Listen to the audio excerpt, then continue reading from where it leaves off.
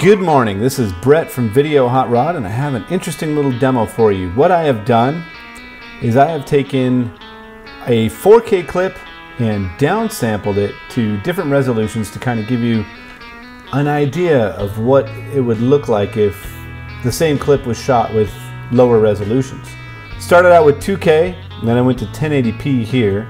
And you can see some of the detail in the mountains is lost when you look far away. Looks a lot sharper over on the left side and not quite as good on the right. You can also see the license plates aren't as easy to read, although they never get seen over on the 4K side. This is 1080i. Now the interesting thing about 1080i is you'll notice the timing goes off a little bit.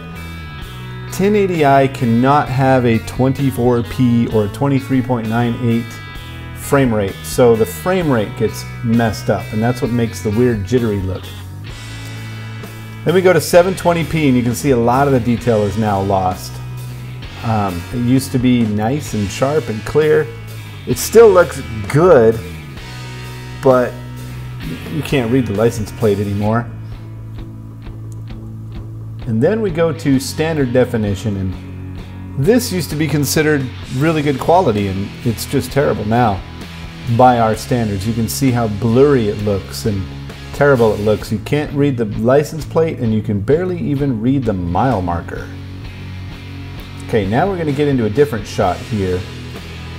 This is my drone shot and what I did was I focused specifically on the drone itself because you can see the words Mavic Pro and the license tag on the drone. And I want to show that so you can see exactly what happens as it moves and with each resolution how the writing gets worse and worse. Again, you can see the timing is a little off with the 1080i versus 1080p. The 1080i actually looks pretty darn good.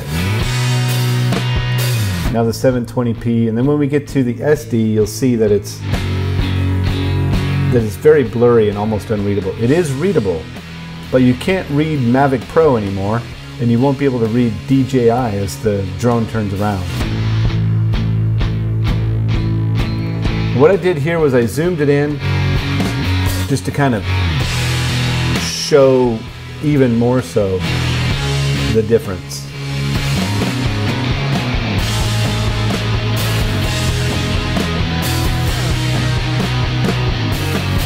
You can see it looks quite different.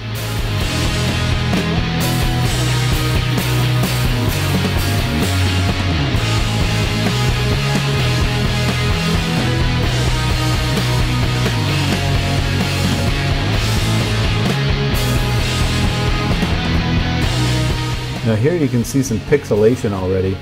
And then on this part here, when we go to the SD, you can see some very, very drastic pixelation. It almost gives you a mosaic look.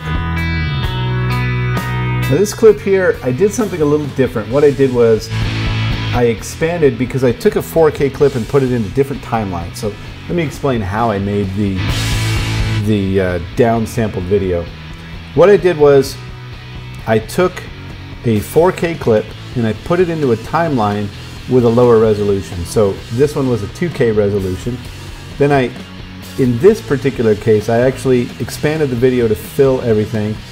Then I exported it. And then when I brought it back in, I re-imported the, the 2K clip, brought it in and expanded that one to fill and make sure it takes up everything. So there is a little bit of a disconnect with the lines here, which is okay.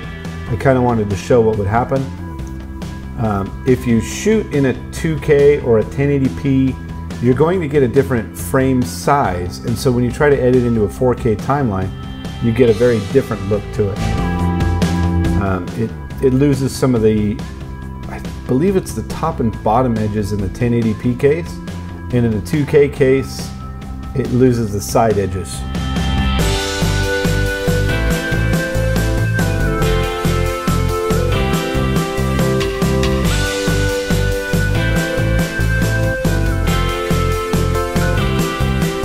And as we progress over here into the 1080i, now this one's really gonna go crazy because the timing is off again right here. And you can see that jitteriness. And that again is because of the frame rate change. 1080i is not a standard progressive frame rate, so it uses 25i, which is a PAL version of high definition, and 29.97i, which is the NTSC version of high definition. You can also call it 30i. Um, even though it's not exactly 30 frames a second, it's slightly less. It just displays the time code as 30 frames a second. And you end up, at the end of an hour, you end up with about three seconds or six seconds longer. I forget what it is. I think it's six seconds more at the end if you use a 30, 30 frames per second frame rate. Okay, so this one went down to 720p. Now, if you look at that license plate right there, it says 147 WYA, but when it comes back here into the 4K, you can see it a lot better. Now, it is closer, but you can see a definite improvement in what it looks like. So right there, you can read Roadrunner on that license plate only on the 4K side, but not on the 720p side.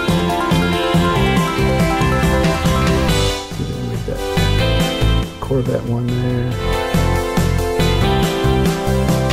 And you can read that sticker on the top only on the 4K side. So here, this is the SD 720 by 486 and it just looks terrible. Terrible by today's standards. This was amazing 20 years ago. And watch as Roadrunner comes in the Roadrunner license plate.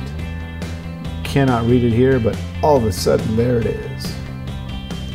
All right, this was just a little demonstration. Unfortunately, I wasn't able to shoot the same clip with many cameras. One day I'll try that, or with different settings. I'll try that later, but for now, this is what you got. All right, I'm Brett with Video Hot Rod, and thanks for watching.